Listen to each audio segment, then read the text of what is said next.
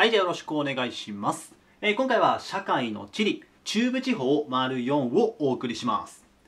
で、まあ引き続きなんですが、中部地方でやっていきます。で、前回までに5個の都道府県が終わったので、まあ続きで今回2個ね、取り上げていきます。で、穴埋めは全部で8問となってますので、できそうな子はね、ぜひ動画を止めてやってみてください。で、ちょっと確認してもらって分かんないのがあれば、今からね、全部説明しながら穴埋めやっていくんで、聞いてもらえたらと思います。いいかな？もうじゃあ、早速ね、1番の F の都道府県から始めていきますので、どうぞよろしくお願いします。よし、じゃあ行きましょう。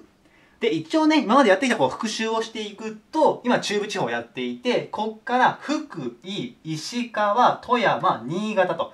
で、長野やってきたんでね、こういう感じで。で、まずここ、中央高地のもう一個の都道府県、ここ F から行きます。で、あそこの都道府県の名前が、岐阜県ですね。F は岐阜県です。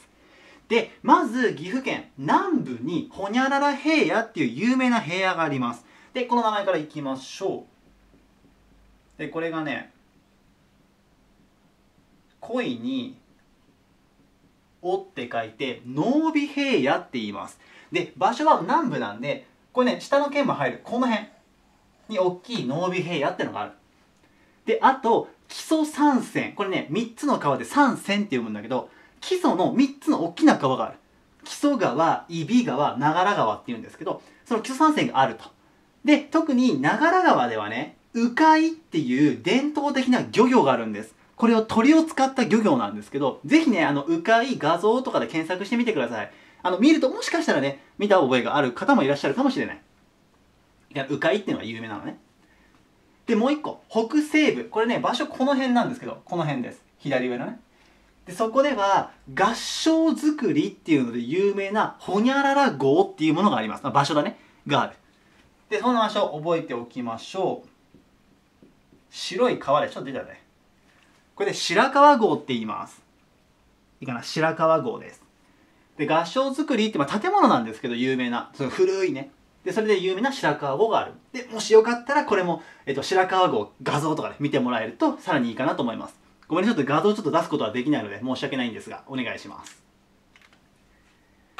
では次ね G 行きましょう。でこれでも南に行きましたんでここから東海地方です。いいかな？まあちょっとまだ残ってるんですけど1個実はね。ただまず東海地方行きます。で G の都道府県はまあおそらく中部地方で一番まあ大きな都市がある発展してるね愛知県です。で愛知県はほにゃらら都市である名古屋市を中心にです。でこの名古屋市が何都市かっていうとこれねせあの国から任命されてるんですけど任命からね指定されてる。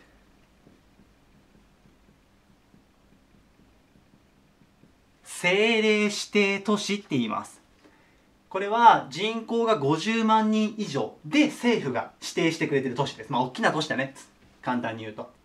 で、名古屋市はそれに入ってます。政令指定都市に。で、それを中心に、前、もう以前出てきてますけど、ほにゃらら工業地帯を形成してます。で、これね、必ず覚えましょう。工業地帯の名前。ここにあるのは、中京です。中京工業地帯。で、場所で言うと、これ愛知あるでしょ？ここもなんですけど、こっちも入ります。ここ三重県なんだけど。で、ちなみに、三重県、ここね、三重県。三重県は近畿地方に入ります。中部地方ではないんですけど、今、東海地方っていう話をしたでしょ？この南のとこ、東海地方。これね、三重県も東海地方に入ります。近畿地方なんだけどね。近畿と中部では違うんですが、東海地方ってくくりにした時には三重も入る。いいかな？で、そこにも入ってる中京工業地帯ね。でそれを形成してると。すごくね大きな工業地帯です。でまた名古屋の周辺には経済文化なんかで名古屋と強く結ばれる都市があります。でこれらのことをほにゃらら県って言ってそれを形成してると。で何県かっていうとまあ名古屋なんで名古屋ですね。名古屋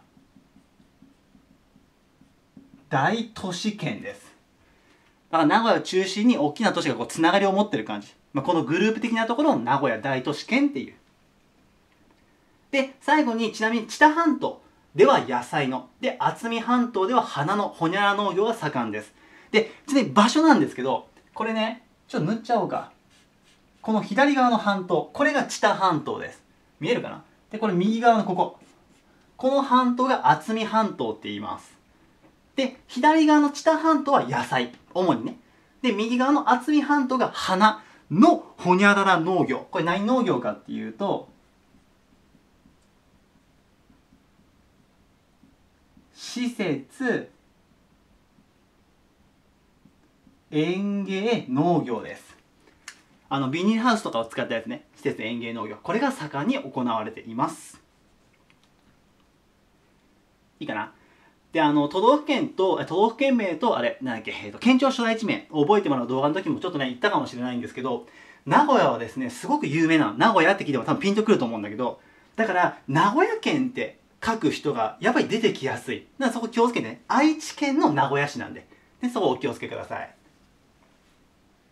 では今回は社会の地理中部地方丸4をお送りしました、えー、今回もねここまで見ていただいて本当にありがとうございました。であと2つです。あとはここ。とここですね。が残ってますのでもしよかったらそっちの方も見てみてください。では今回はこれで終わります。以上です。ありがとうございました。